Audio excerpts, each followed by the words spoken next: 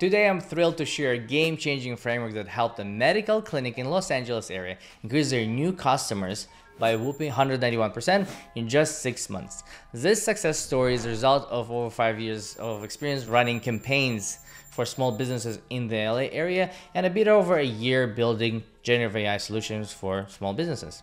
But what makes this client special is that this is my first time working with a clinical practice. I'll show you exactly how I achieve these remarkable results and how you can replicate them for your clinic or healthcare business. At the heart of our approach is a simple yet powerful funnel. We start by creating a website optimized for SEO, ensuring it ranks high in search engine.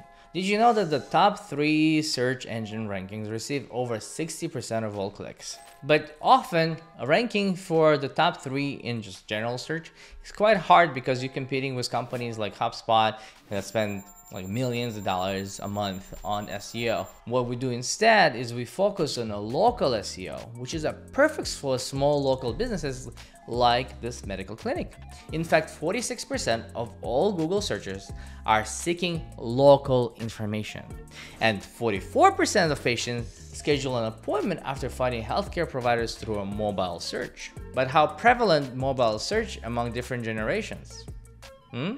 Well, what's surprising is that 80% of Gen Zs use mobile search primarily, 62% of millennials, and 66% of Gen Xs primarily use mobile search. That's why we prioritize technical optimization for speed because mobiles are not as fast as desktops. And also we want to make sure that we provide high quality content that is very localized to that particular individual. If we are optimizing a website for a clinic in Los Angeles area, we're creating a highly localized content for that provider.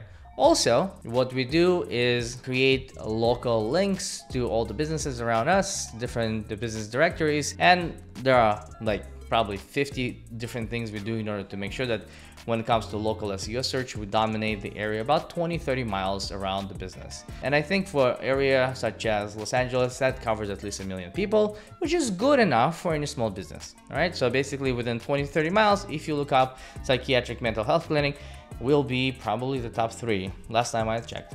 Anyhow, let's move on. After we created a website, creating content and links with the local businesses, the next step is start generating traffic using Google Ads. In fact, a study by WordStream found that businesses that use Google Ads see an average ROI of 200%. But here's the key, we don't just stop at traffic generation. That's why we prioritize technical optimizations for speed, since 50% of consumers expect a website to load in 3 seconds or less. We have websites in our portfolio built on WordPress, but lately we have been using Webflow more and more due to the ease of use and high speed of loading on any platform. I believe we are about 1 to 2 seconds for all of our websites. We have tried creating generative AI content for the blog, but after a few tries, um, the posts were just super vanilla and realized that it's still easier to just hire a psychology graduate to write the content instead of generating content with GPT-4 and after that sit there and try to edit it for hours. And it worked out pretty well. Why loading speeds are very important. According to the Cloudflare, reducing site load time by just 0.85 seconds can increase site conversion by 7%. So for instance, if you're loading at 5 seconds right now, you could check it out really quick, gtmetrix.com, very cool website. Anyhow, so if your site is loading at 5 seconds and your competitor uh, website loading at 2 seconds, the probability that they conversion is higher than yours by 21% is pretty high. All right, so it's 21%. So for instance, out of 100 clients, you're not gonna see 21. Um, I'm not sure that the math is exact, but it's, it's somewhere in the ballpark. Second, we focus on conversion using strategically placed website forms and a chatbot built on the WordPress platform to initiate interactions with users at the right moments and basically convert them into our future customers. What is also very interesting is that in the recent survey, 34% of customers said that they're very comfortable speaking with artificial intelligence when it comes to online retail. According to another study by HubSpot, businesses that use chatbots usually see about 13 to 24% increase in conversions. And this is also holds true for the corporate clients as well. 26% of B2B marketers who applied chatbots in their marketing activities saw a 10 to 20% increase in leads. So it appears to be very, very similar. In this particular case, we experienced about 15 to 20% increase in leads because of the BotPress AI chatbot. What's also interesting is that 43% of American marketers indicated that chatbot helped educate prospective customers.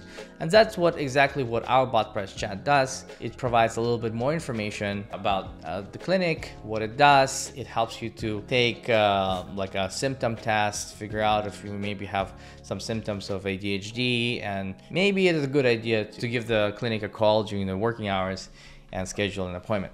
To take it to the next level, we also employed a voice agent to handle after hours calls and improve customer service.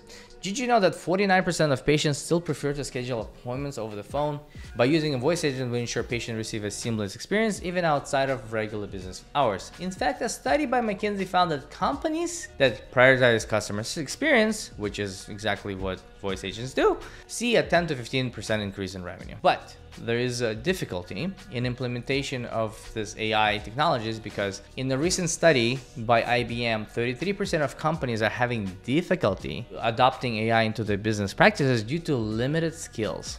But what's truly exciting is that our collaboration with Mental Health Clinic helped us to develop AI scribe application for psychiatry practices, and it's gonna be launched next month. It's it's a fun one. It basically allows you to create progress notes on psychiatric evaluations while the provider talks to the patient. And uh, basically on the back end, generative AI is creating a perfect note. So this way it reduces the workload on the provider, and also the provider could see way more patients than without it. That potentially could help with increasing the productivity of every provider and increase revenue and profitability of any clinic.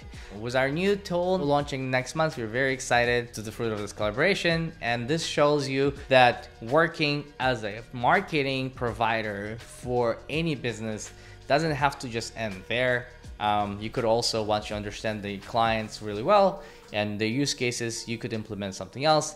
And that is very true for generative AI because there are many use cases generative AI that are not particularly great for marketing, but they could be great for some sort of process within the business that you could stumble upon while you're working with the business on basically marketing part.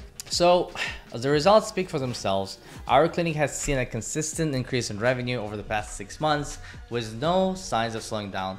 By implementing our funnels, they saw a 69% increase in website traffic and 191% increase in total new leads. These results aren't isolated as we've used a modified version of this funnel for other local businesses and this client helped us refine it for the medical clinic.